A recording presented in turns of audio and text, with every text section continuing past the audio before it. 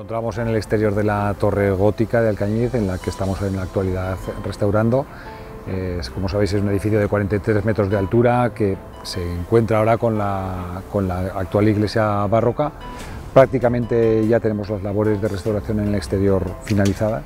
Se lleva trabajando intensamente desde febrero y aproximadamente el grueso de la obra quedará finalizado sobre febrero de este próximo año. Las obras son básicamente de limpieza, consolidación y rejuntado de lo que es la fábrica, que se encontraba en algunos puntos de, ella, se encontraba en un avanzado estado de deterioro y que había que acometer con cierta urgencia para que el proceso de desgaste de la propia fábrica no fuera progresivo y aumentando.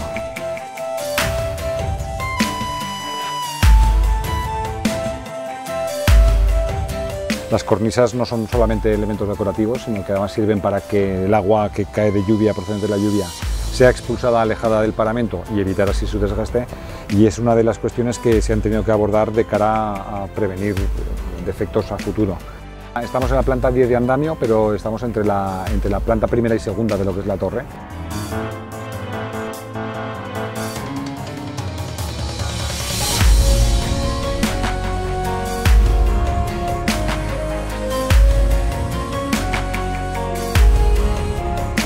En este grafito que vemos aquí se, ve la, representación idealizada de la, de la, torre gótica, en la que entre otros elementos se pueden ver los arcos, la escalera que era practicable para dejar incomunicada la planta primera y la planta segunda, e incluso lo que es una representación idealizada del chapitel que tuvo la torre en su día.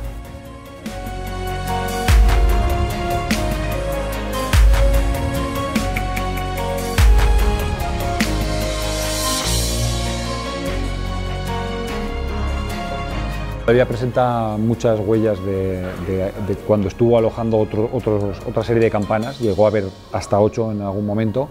Todas esas huellas eh, son prescripción de la Comisión Provincial de Patrimonio que deben de quedar manifiestas, así se quedarán.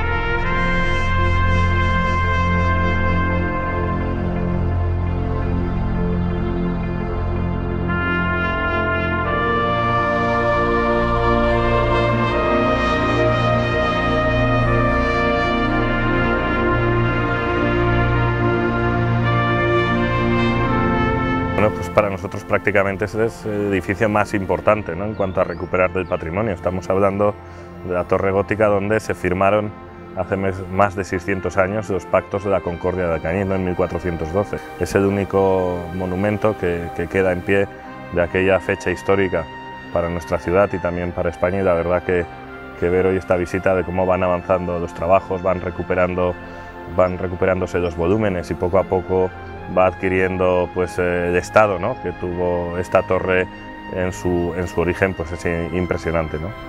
Ya hemos llegado a la planta de cubierta, eh, todavía aquí lo único que se ha hecho son unas catas para, ver una, para tratar de localizar la procedencia de una humedad que viene, que viene atacando la coronación de la torre desde hace mucho tiempo y básicamente lo que se ha hecho es reparar el, lo que es la salida de la escalera de la torre a la cubierta. Esto ya se han acometido las labores de restauración y pues básicamente ya esta es la última parte en la que se acometerá, una vez que tengamos determinado qué se hace con las gárgolas, cómo se acomete su intervención, porque ahora ya estamos a la espera de recibir unos resultados, unos ensayos petrológicos para determinar el, estado de las gárgolas y ver cómo se debe acometer esa intervención sobre ellas.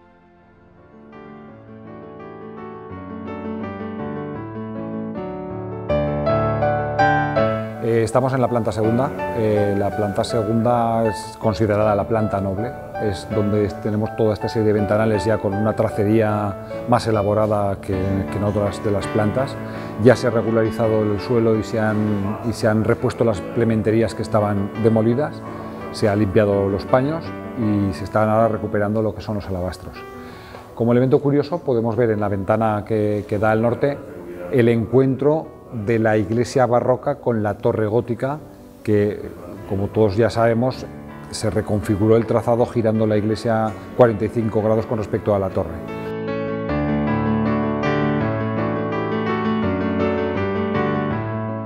Estamos en la planta primera, eh, aquí básicamente todas las labores están ya finalizadas.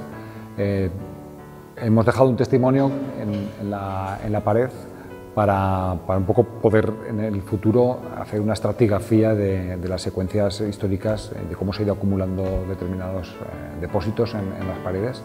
Y ahí es donde se puede apreciar en el estado anterior en el que se encontraba la torre prácticamente en toda su altura. Nos encontramos justo debajo de la bóveda que cubre la planta primera, Aquí ya, como podéis apreciar, ya se han, ya se ha llevado a cabo las labores de, limpieza. Hemos dejado otro de los testigos con la suciedad que, hubo, en el que se puede apreciar ya el estado en el que se encontraba la torre y en el que se encuentra ahora mismo.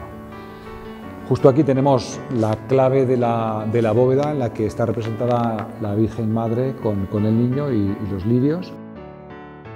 Pues ya ha sido limpiada y ahora ya se aprecia mucho mejor todo lo que son la finura en el trazado de la, propia escultura.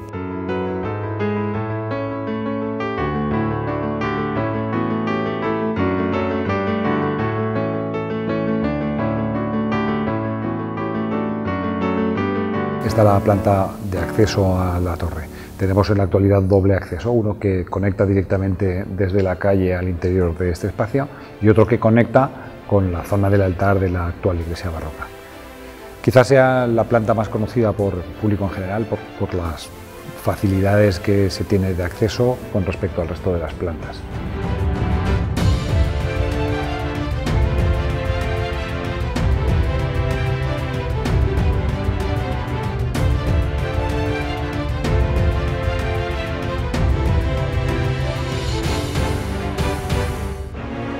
Lo que yo sí que he detectado es que hay mucha ilusión por, la gente, por conocer ya de, forma definitiva la torre, porque hasta ahora sus condiciones de accesibilidad no eran las más, las más favorables.